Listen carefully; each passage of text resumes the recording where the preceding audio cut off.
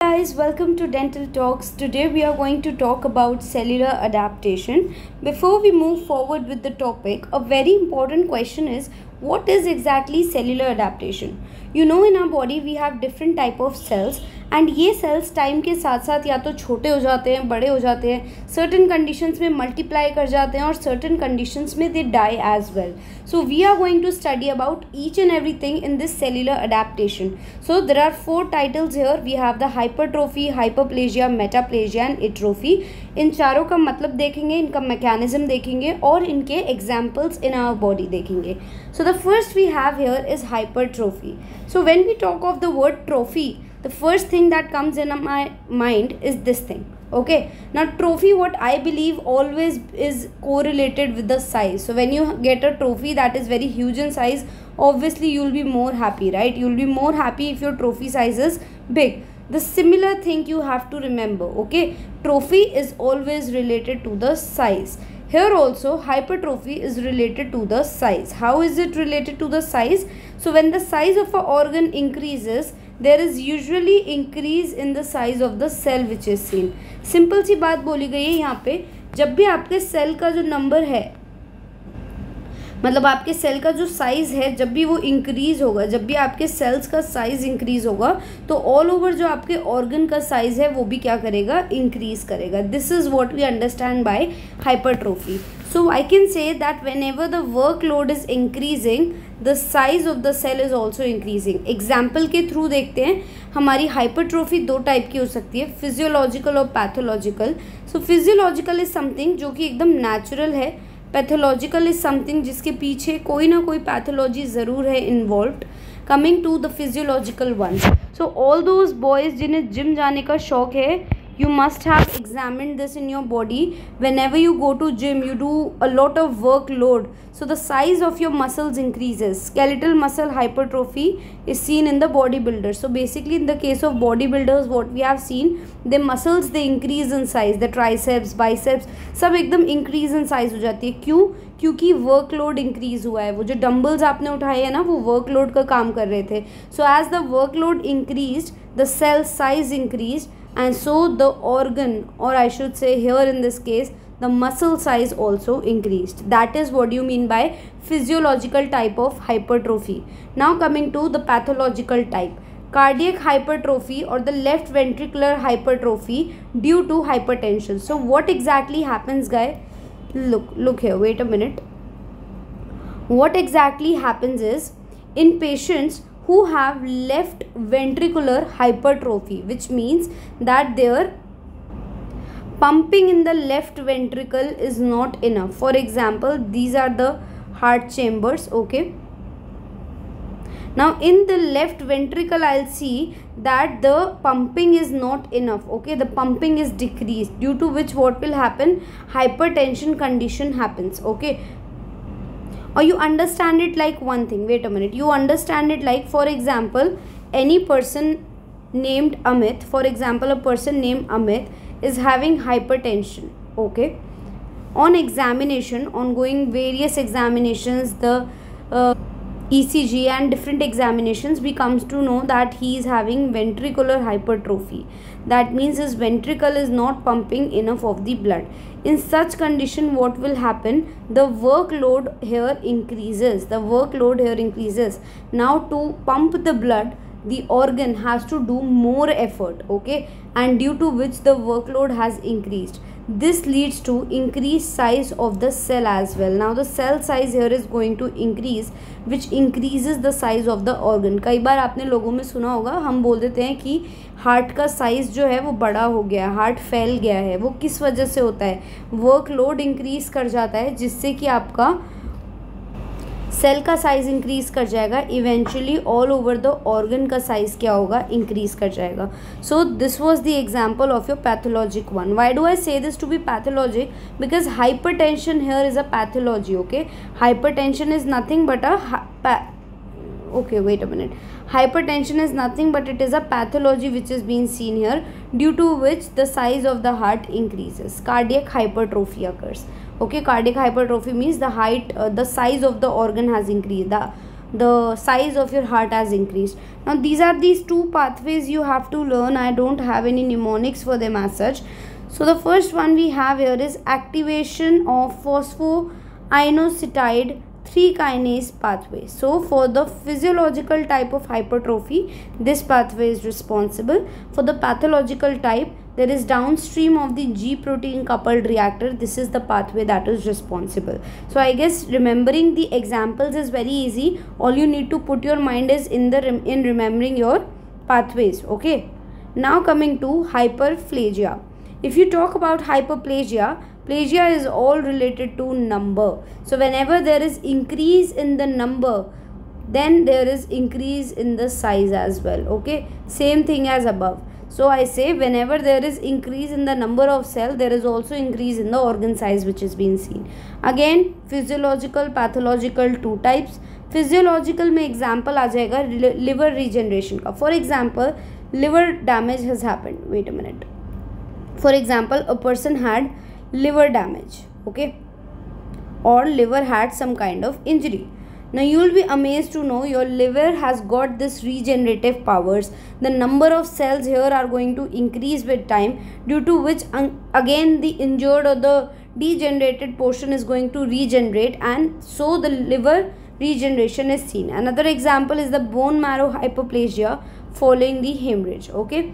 Now coming to the pathological one now the pathology here you have to see is increased level of testosterone. Whenever there is increased level of testosterone there is this benign prostatic hyperplasia which is seen. That is due to the increased amount of uh, testosterone in the body the size of the prostatic gland also increases. Okay that is what you see as a pathology.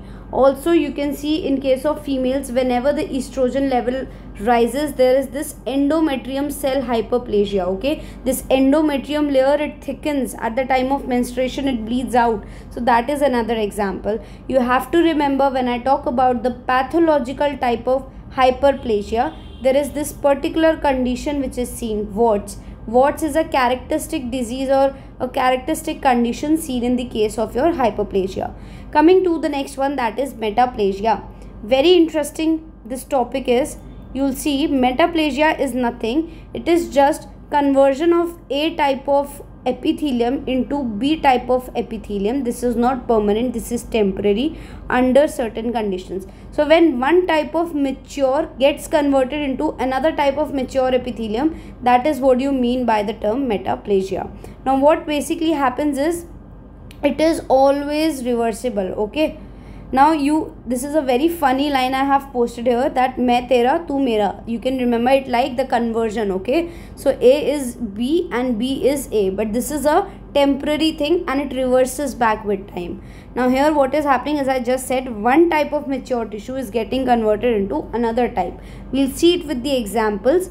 Again it could be of two type mesenchymal or epithelial in origin. First we'll talk about the mesenchymal or the connective tissue type when i talk about this we are talking about the muscle so when one type of muscle it gets converted into another type of bone okay that is an one example of your metaplasia so see here for the example when one, one muscle is getting converted into bone like structure which is said as my myositis ossificans that is what you mean by mesenchymal type so usually mesenchymal type of metaplasia के अंदर क्या होता है एक आपकी muscle होगी उसमें क्या आएगा? सर्टेन चेंजेस आएँगे and that muscle will act like a bone now it will become so hard that it will act like a bone now this condition is known as your myositis ossificans when you see this condition in the case of epithelium so one example we have here is of the Barrett esophagus okay let me write this here